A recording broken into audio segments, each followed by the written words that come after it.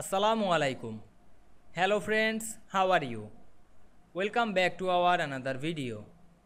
In this video, I am going to show you how to reduce footer margin in Microsoft Word. Let's get started.